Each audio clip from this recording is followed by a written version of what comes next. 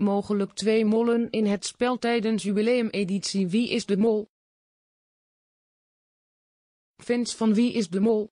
worden met de dag zenuwachtiger nu de finale van het populaire Avrotros-spel voor de deur staat. Zaterdag worden in het Amsterdamse Vondelpark de namen van de mol, de winnaar en de verliezer onthuld.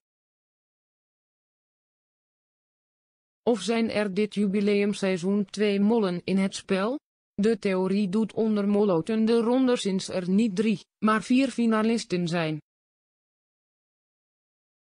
Voetballer Nathan Rutjes, keukenprinses Miljuska Witsehausen, acteur Buddy Vedder en zinger, songwriter Rob Deka bevinden zich midden in de mollenstorm. Een interview met de mol zoals vorig jaar op deze site te zien was, zit er dit jaar niet in.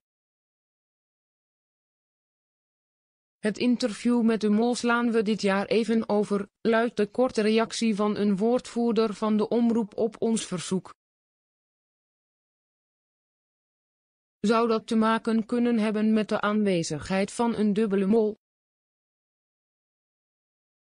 Wie is de mol? Vraagteken. Kijkers laten via sociale media weten dat de mogelijkheid van twee mollen, die van elkaar niet weten dat beiden het spel saboteren, een prachtige uitkomst van het twintigste seizoen zal zijn.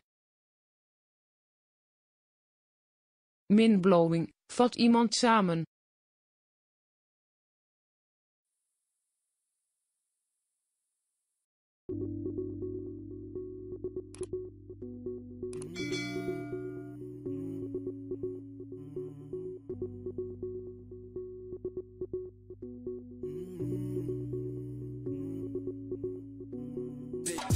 You tripping?